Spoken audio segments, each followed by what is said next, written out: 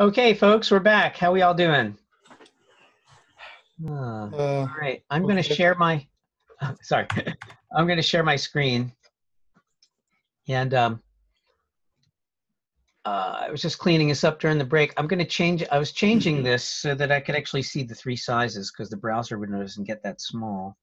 So um, about 550 pixels, and this would be 551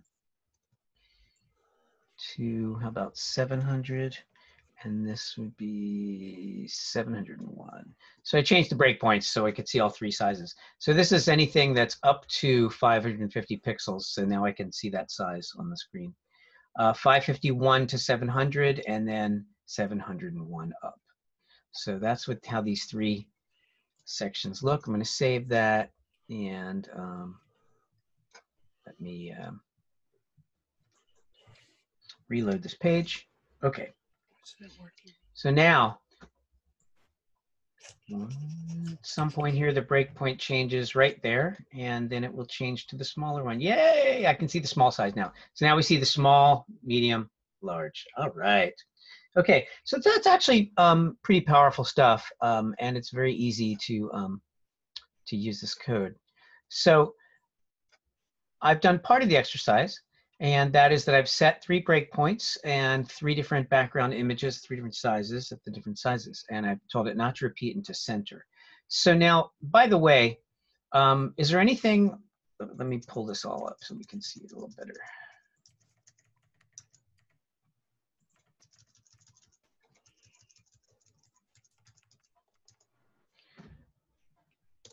Okay, so we see our three breakpoint sections.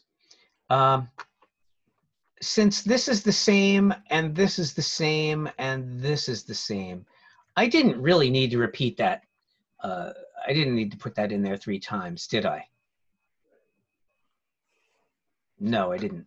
So what I could do to make this easier is I could take that out of there and just stick it at the beginning of the style sheet before we get to the, um, oops, oops, I lost my, uh, I lost my background.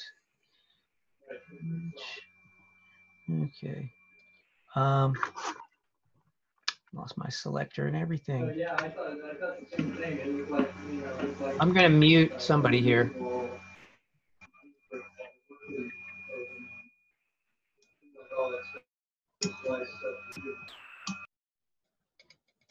Okay, sorry I muted you guys. Um, okay, so uh, let's see here. Um, oh yeah, I need my selector body.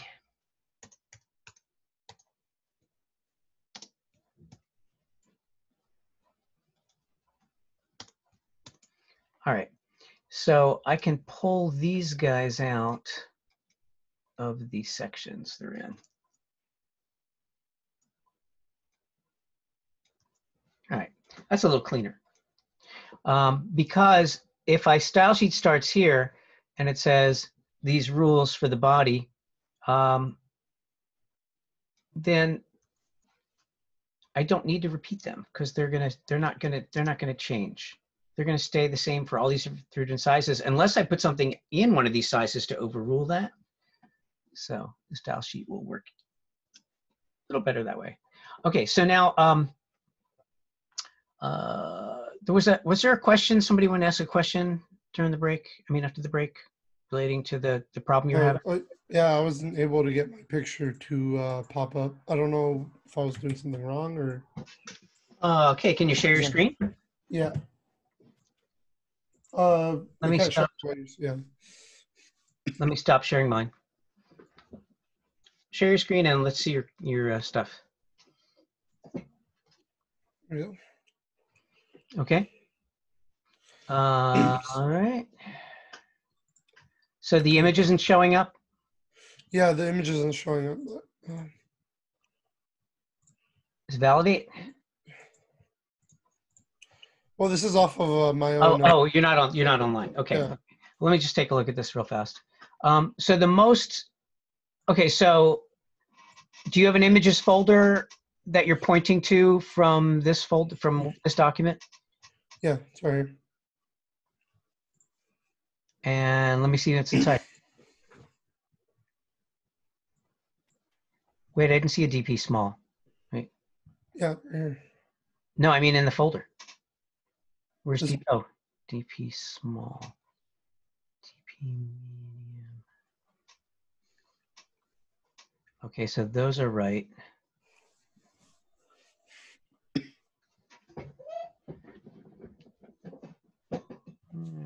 See what we got here.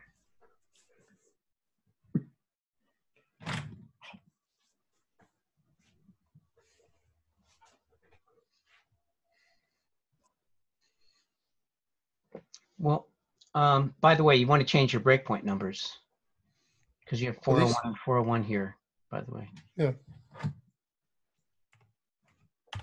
Um, for now. so you, you know these don't work, these, the way you've got these numbers. Oh, these right here? Well, right here, you're saying max 500, so then you, here, this should Oh, start at 501. Because you're going Oh, up to 500 on the top line. Oh, So- so, this one would be 501? Yeah, because uh, you're already you're already going up to 500 on the one before it, and then that would be six. Yeah, that will work. Now you don't need the max at the end of 701. That means that after 701, you're not going to see any image. Okay, so I'll just get rid of this part. Yeah, and get rid of the and too. Okay, stop there. Now, um, oh wait, you're missing an open curly brace um, in that middle line. You see, see, um, in front of the and. Oh wait, wait, no, I'm sorry. You have it after the end. You got it. I didn't see it. All right, it's there. All right, try that. Let me just see what happens. Saved it and okay, there it goes. And now, if you change it's the size, probably- does the image change?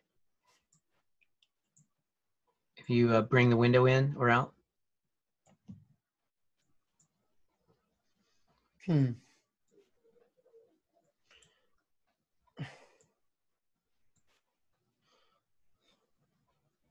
Doesn't look like it changes the size of it. Yeah, I'm not sure. Your breakpoints are kind of. Um, how big is that image itself? It's it's on the big side. It might be on the. I did 350. Okay. Well, I know the biggest one is like six something. This one's 350 and this one was 250. Can you make it smaller? The window? Oh, this. Yeah, go all the way in. And it's not changing. Okay, Nope. so there's a there's a. Oh yeah, it is. okay, it is oh. working. Okay, I just I can't tell the way the screen's jumping around when you save it. Yeah, it looks good. Okay, so it's working. Okay. All right, cool. it's probably because of the image sizes that I have it set for. Yeah, you can be, play with uh, that. You can play with that, but you've got the general concept working. Okay. Right. Cool. All right. Um, other questions? That was good. Thank you. That was good. Other questions? I have a question. Yeah. Um, just about the when you, and I know you already explained this when you when you save your Earth picture, um, but um, what, what do you start with it generally as a large um, file, and then the formats you said uh, PNG or or uh, GIF. You could use GIF, uh, PNG, or JPEG. If it's a photograph, probably JPEG. Um, I'm working with an Adobe Illustrator file, right, that I want to use. oh, so you want to export that? Yeah, you want to. That needs to be saved as either a GIF, a JPEG, or a PNG. Um, Okay. Is it like photograph-like, or does it have gradients, or is it just pen and ink? Ink, kind of. Yeah. Why yeah, well then not- I would say um, uh, either a GIF or a um, a PNG, probably not a JPEG. Okay. Yeah. Um, and then maybe I just experiment with it and, and see how it looks, and then resize it based on that, or Yeah, you could do that. Um, but uh, I mean, it, it depends on how big you make your breakpoints as to how big you want your, you know, I mean, just it doesn't have to be that big. So I would keep it on the small size to keep it easy. Okay. Um, I just did three little earths, you know. So and what was your I mean, the, the point is, it shows you visually that you're seeing the breakpoint styles in action. So I want to see that. So I want to see the Oh. three sizes. So when you make that window smaller, I want to see the, the, the background image change to the smaller size. That's all. okay, all right. Um, so um, I, the last part of the exercise is just changing some other styles. So um, once you've got the background thing working, um, it's pretty pretty straightforward at that point. So if we go back to the exercise, um,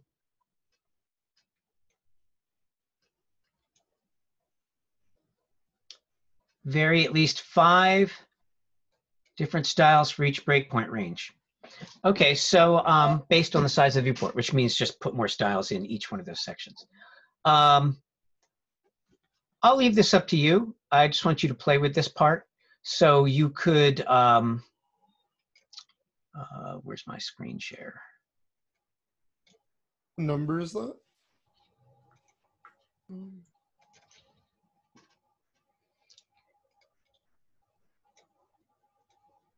So essentially, this is what's left to do. Um, and you could you could do this very simply, or you could get more complicated de- depending on how you know how much work you want to put into it. so simply, you could just vary five styles of anything. You could uh, vary font. You could vary font sizes. You could vary some margins or um, colors of text, or um, I mean, you know, any any styling changes that you want to make based on the uh, the size. So whatever styles you put in here,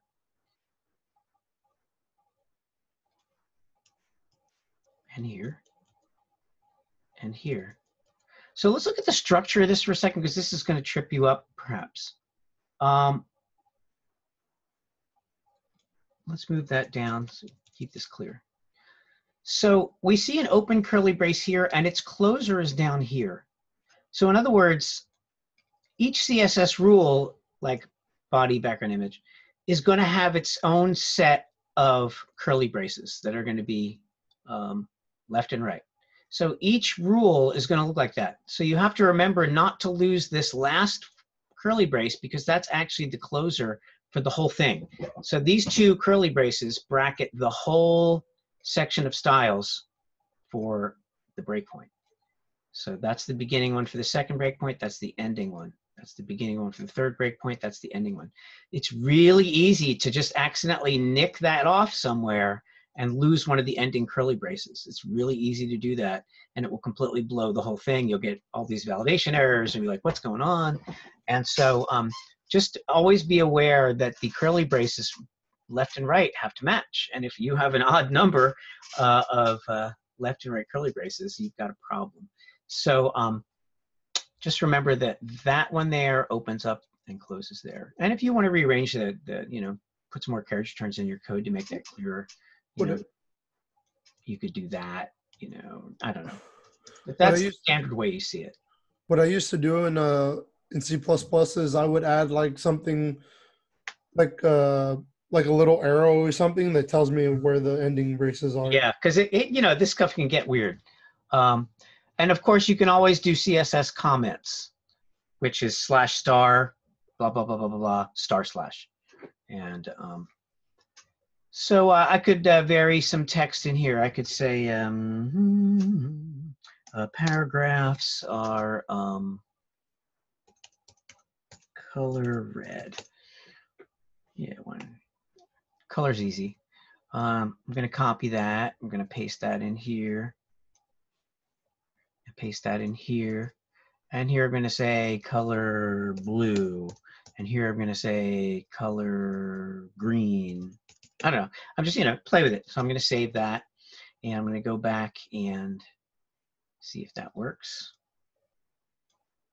Is this it? And so the text is green and the earth changes there and it changes there. Yeah, so um, now it's not just the background that's changing, but other things. So, so you can see how this can work. Um, in your mind, think the smallest size would be phone. Um, and the medium size, you know, could be tablet or and the larger size could be desktop. I mean, you know, experiment with the numbers. Uh, you've seen what I've done. I generally ballpark them. Um, the nice thing is that um, if you just ballpark it, it pretty much works in any browser or device just based on the size of the device. So um, you might want to play with those numbers a little bit.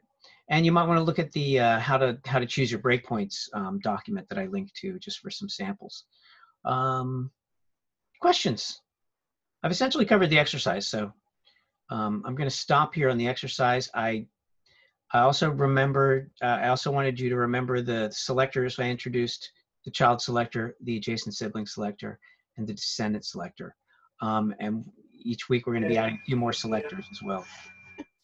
Question? I have a question. Yes. So when you're thinking about these different screens, phones and tablets and, and computers, or maybe even your TV, if you're Maybe. browsing on something that big, well, that's what we used to do. The, I think the first television we bought was in 2008 and it was actually the desktop for an HP, but it was a very large monitor, but that's what we used. Um, when you're talking about the changes, like here, you're just changing the color of the text. Yeah, this is just to get you Right. introduced to the But is there something actually practical that you want to change? Like very. when you're looking at things on the little screen, is it better to have the text be bigger? Because I'm, I'm just saying it for an example, because you're looking at something little. And so I just wondered if there's a common list of things you change when you get smaller and you're bigger. 'Cause I even Well- think of a of a tablet in portrait or landscape even. Well, think about um, when you're on a small device versus a large device. Right. Mhm. One of the most common things has to do with your navigation menu system. Simpler on the phone is better. People do these desktop layouts with, you know, 10, you know, 10 menu items on the top level horizontally and then sub menu items that break, it, fly out and everything. It's like, that doesn't really work on the phone. So you really have to rethink your navigation. So the first thing, navigation. Mm-hmm. Um, and there's something called the hamburger menu, which is an extremely common technique. Have you heard of that? no. Okay, let's um, uh, let's go to a website that maybe uses it. Um, But I do like burgers. um, let me just. I'll try Apple just for fun. I can't remember much about their site. They probably are more sophisticated than than just using screen size. They're probably actually going to test for phones and things. But um, let me just see if they use the hamburger menu. Yeah, there we go. Here's the typical hamburger menu. See this menu across the top? Mhm. Mac, iPad, iPhone, blah, blah, blah. Now, watch what happens as the screen gets smaller. They move closer together at first, right? And at a certain point, which is going to be a break point, oh, oh, see that? There's a break point right there, right? See that? Mhm. And the menu went away. And on the left, you see two lines. They're typically three lines. Mhm. That's And there's a menu. Yeah, and, and Apple Apple's weird in doing the two lines. I guess they figure at this point they're going to make it even simpler. But the standard is three horizontal lines, which supposedly like looks like a hamburger when you're Mhm. looking at this. I guess. Oh, I get it. Okay. Yeah, like from the side view, you see like the bun and the bird. Yeah, yeah. So that's why it's usually three lines. Let that's us pick- hamburger. What is it? So, so this is a really common technique Big because if yeah, if you're on a phone, right, you don't need that giant menu, Mhm. but you would tap here on the phone and then there's your menu, right? So, and that is done with exactly the technique we just looked at. Like there's a breakpoint Mhm. right there, and at that breakpoint, the menu actually disappears Mhm. and it reappears under the hamburger. And um, But we all know to go look for that because it's we're used to seeing it. right, that's a convention. That's a web Generally. convention right now. Mhm. and on the phone especially you see a lot of these kinds of Mhm. menus these drop downs like that in the hamburger um, so um, did i do i think i've talked about the display property some weeks ago refresh my memory have we talked about the display property Maybe I don't remember, but I believe you. that To was make- to before make the things- virus. to make things disappear and reappear no I don't think Well, so. maybe I don't not. think Okay. so. Maybe okay not. so so um um i'm not going to get into it tonight we can do that later because i want to end this pretty soon but there's a property called display and there's also another css property called visibility they both are similar the display property is the one that's generally used it's the most useful but the css property display allows you to make something um, disappear so you can say display none and the menu will just go away It's it's so. Let me explain. Here, I'll show you some code. Um, hmm, let's see. I'm going to add some text. Oh no, I do have text. Okay, here we go. In the medium size, See where it says paragraphs are blue? I'm going to change that. I'm going to say paragraphs are gone.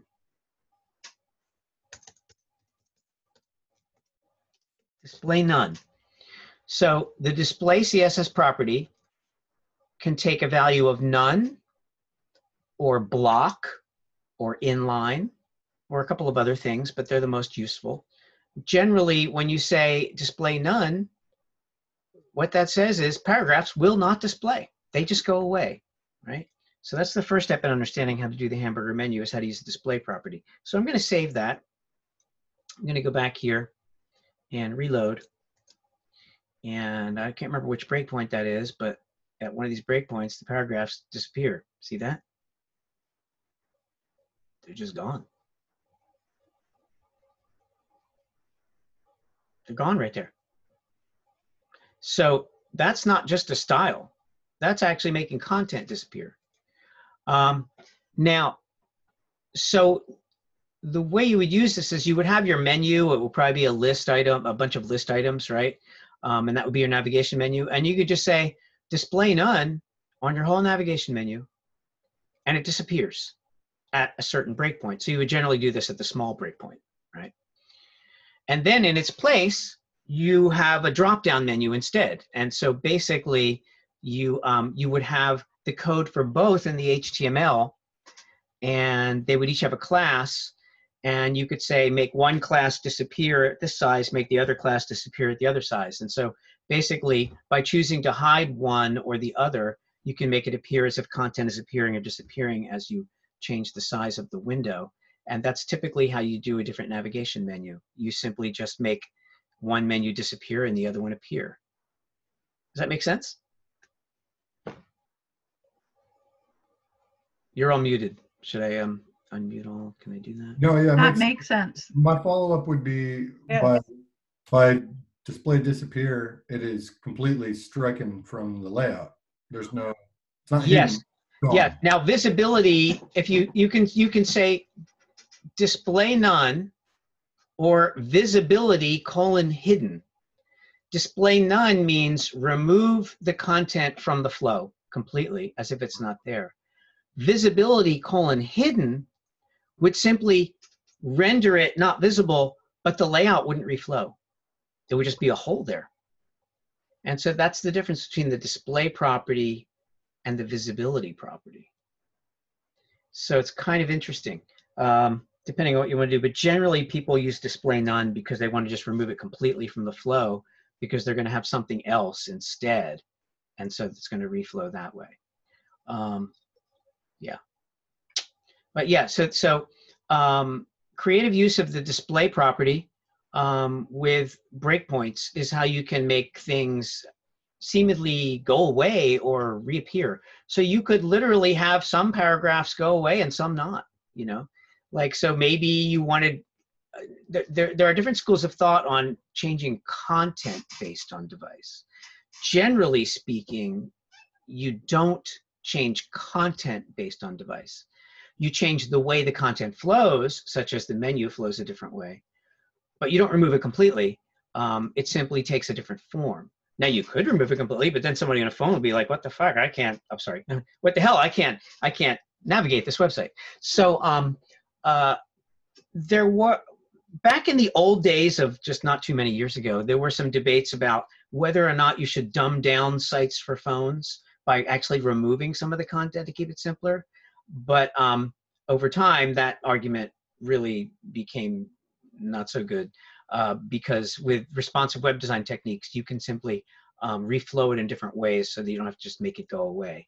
But before responsive design techniques were, supported by all the browsers. Now they are. But you know, this stuff is all changing very rapidly. And not too long ago, some web browsers didn't support all the CSS3 media queries. And so that made it a little more of a debate in terms of how you deal with the phone content. Um, but these days, that's that you just reflow it. Yeah, wasn't there multiple sites being built, like you said, the dumbed down ones for mobile site when? when Yeah, gen- and you can do that, but and that's why you sometimes you're on a mobile site and it'll say click here to see the desktop site, you know, um, uh, or vice versa. But uh, it's just because you can reflow text and make it all flow into one long column, you know, that's you know, rather than just make the phone user not see some of the content. Um, you know, I mean, you, you, I guess it depends on the site, what your content is, and how important it is, and you know, how people use the site. And, you know, so so I guess there's not like a one size fits all, but in there there'd be examples where you'd want to take stuff off, I guess. But generally speaking, you just reflow it, and so you don't give the person on the phone less content. But again, there there may be situations where you you change that you change that wisdom. I don't know. Um, so more questions. So I think we're going to wrap up. I have a question. Yeah. Um, so uh, two questions actually. Um, do you do we need to create a, uh, an external style sheet for this, or is it okay if we do the? Um, Ah, well, um, since I don't remember what the exercise says, let me take a quick look. Um, I don't see it in there. I don't. if, it- if it doesn't say, then it doesn't matter. If I've if I'm good. looking for something, I'll I'll say it. So um, it says create a background, media queries.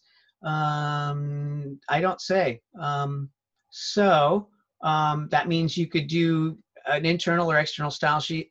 Uh, it also means you could do your media queries different ways too. Like I showed you a couple examples of different ways to do it. Um, this one here is a fairly standard way to do it. Um, and um, actually, um, you know what? Uh, If we want, the well, thing if you want, I can I can post this one to the chat window if you want this code as an example. Ooh. Um, please. it's on it's in the video, of course, but um, uh, this is testing. One other question is: Do we need to provide the alt description? in any image. If it's a background image, no. If it's a foreground image, yes. Okay. But you notice here the images are backgrounds, and so that's a really good question. Um, background images are considered styling, and foreground images are considered content. So for the purpose of uh, of- of this exercise, no, because they're all backgrounds. Now, if you put some foreground images, if you put some images on the page with the image tag, uh, IMG tag, then yeah, you they always need alt. So the IMG tag always takes an alt attribute as well as a source attribute, but um, backgrounds are not content, so there's no alt attribute, no alt text with backgrounds. Oh. Kind of interesting, isn't it? Um, let's see Yeah. if I can. Let me upload this. Uh, uh, where's my chat window? Am I sharing my screen? Yes, I am. All right. Okay, so Yeah. I'm going to stop sharing so that I get my sanity back. There it is. Okay, and where's the chat window? There it is. All right. Yeah. chat window disappeared. There it is. Floating palette.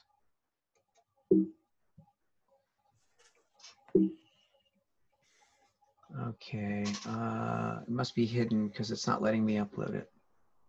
Um, for those of us without Photoshop, is there an easy way to resize images then?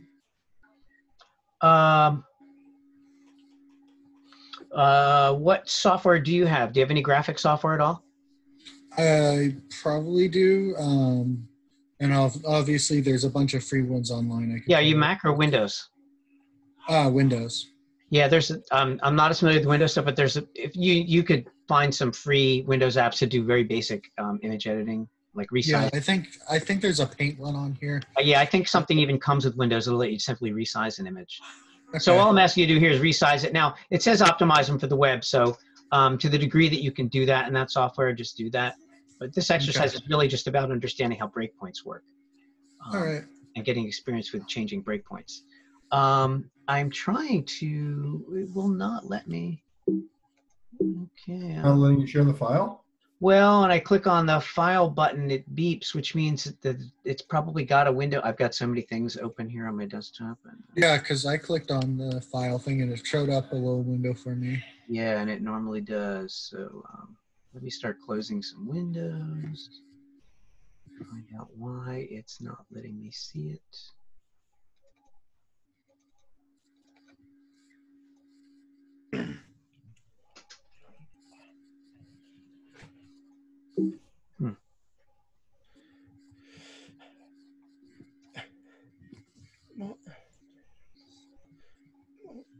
Well, unfortunately, I have to head out, guys. I will talk to you guys later.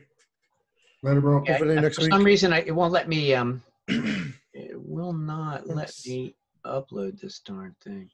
Yeah. Try it one more time. Thanks, John, for the help, by the way.